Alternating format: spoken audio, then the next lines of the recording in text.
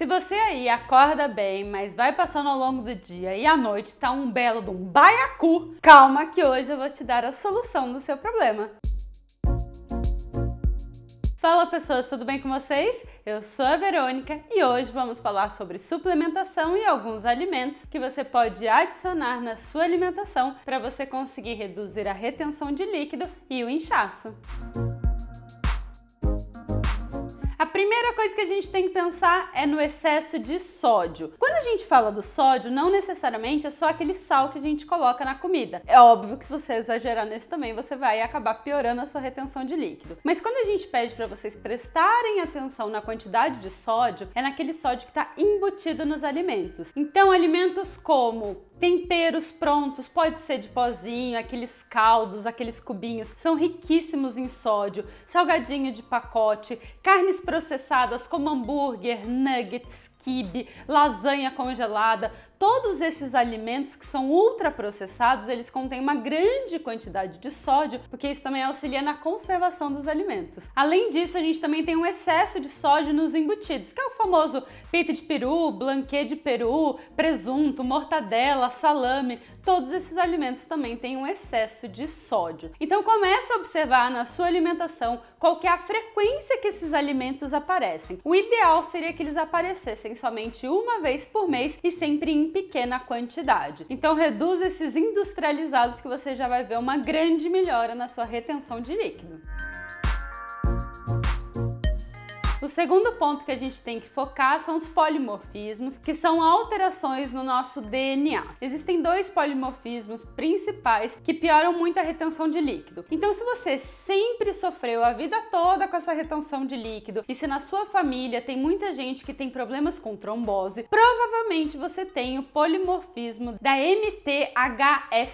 Para você ter certeza que você tem esse polimorfismo, você tem que fazer um teste de DNA. Porém, se na sua família todo mundo sofre com retenção retenção de líquido e tem muita gente com trombose, provavelmente você tem esse polimorfismo. E aí o que a gente tem que fazer para conseguir reverter esse efeito colateral que é o inchaço é suplementar metilfolato. Em torno de 400 microgramas é o suficiente para você conseguir ter esse benefício da redução da retenção de líquido. Então você pode pedir a receita para o nutricionista ou para o seu médico, você manda manipular 400 microgramas de metilfolato e você consome isso por resto da sua vida. Porque se você tem esse polimorfismo, quer dizer que seu DNA tem ali esse defeitinho e você vai ter esse problema pro resto da vida. Então, é até interessante porque não só vai te prevenir em termos de inchaço, mas também vai te prevenir contra trombose. Se você tá gostando dessas dicas, não esquece de curtir esse vídeo. Conta para mim nos comentários quais são os momentos que você sente mais inchaço e se todo mundo na sua família sofre com isso ou se é só você que sofre com isso. Conta para mim nos comentários. O segundo polimorfismo é a FABP. Esse polimorfismo faz com que as suas células fiquem rígidas. E aí a célula rígida ela tende a ser mais inchada. Então você percebe que aquela pele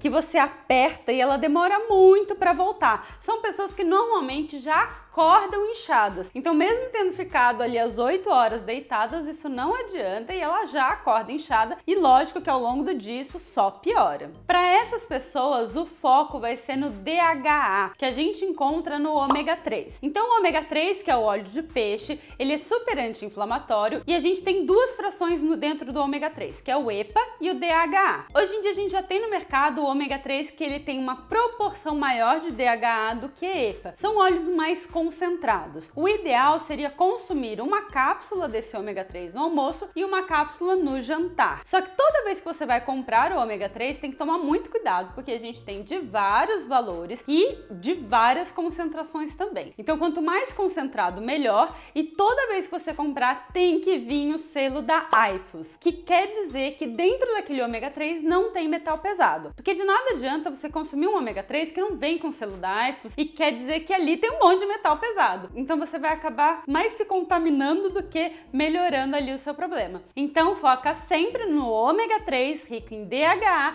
e sempre com selo da IFOS. O terceiro ponto que a gente tem que lembrar é o magnésio. O magnésio ele é muito fácil de encontrar em semente de abóbora, semente de girassol, qualquer vegetal verde escuro e também nas algas. Sabe aquela alga que a gente come quando é comida japonesa? O problema da comida japonesa é que vem o shoyu, que é rico em sódio. Mas a gente pode pegar aquela alga e fazer snacks. Aqui no canal eu já ensinei como fazer, é muito simples, ele fica super crocante e é uma ótima maneira de você consumir aí a sua alga. Se você não viu essa receita, é só clicar aqui que eu vou deixar no card. O magnésio ele vai auxiliar no fluxo celular, ou seja, você vai conseguir reduzir a retenção de líquido. Só que o problema é que o magnésio também ajuda no relaxamento muscular. Só que quando a gente fica muito estressado, a gente exige muito magnésio do nosso corpo. E isso faz com que a gente tenha uma queda de magnésio, fazendo com que o fluxo celular fique debilitado e isso acaba aumentando o inchaço. Então, se você perceber que você está num momento da sua vida muito estressante e com isso você sentiu que o inchaço piorou, tenta aumentar o consumo desses alimentos que eu falei para aumentar o seu aporte de magnésio.